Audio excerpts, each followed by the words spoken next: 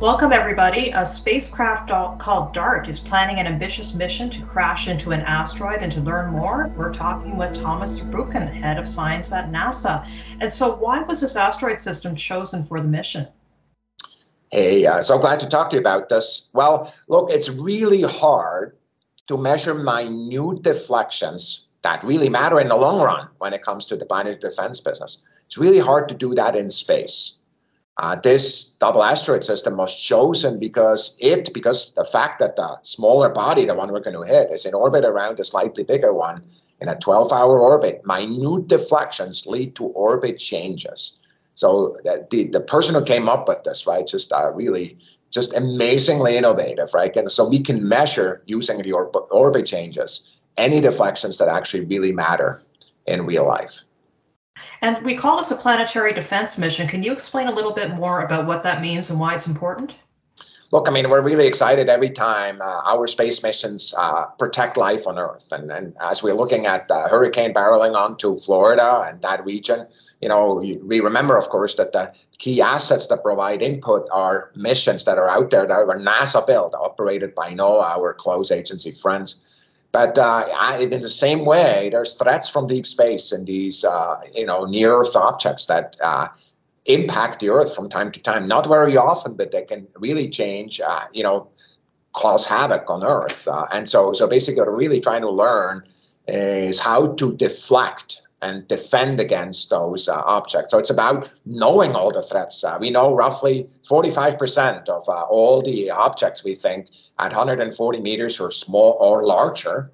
Uh, so the other 55% are still yet to be observed. But once we observe one, how would we deflect it out of the way? That's what we're proving tonight. So uh, DART is actually going to be crashing into the moon of an asteroid rather than the asteroid itself. And so why did you make that decision?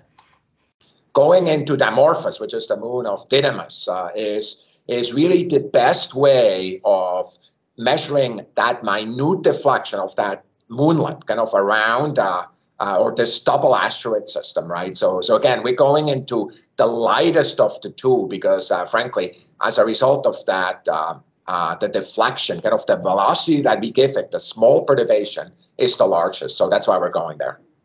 And uh, how are we going to be finding out more about the orbit of Dimorphos after this happens?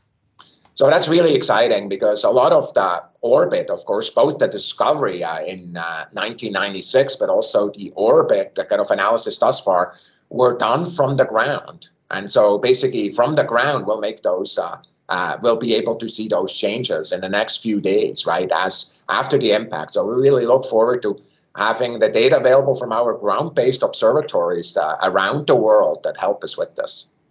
And lastly, you know, we're talking about planetary defense and the importance of doing so, but can you explain a little bit more, just for context, how worried we are about uh, a problem in, say, the next hundred years or so?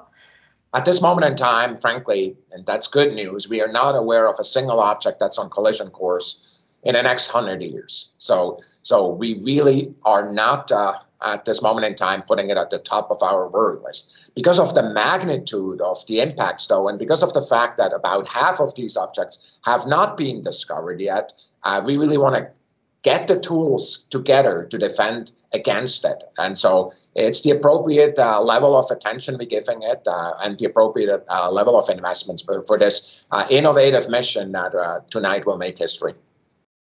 Well, thank you very much. That was Thomas Zurbuchen, the head of science at NASA, and continue to watch our coverage at space.com. Thank you so much.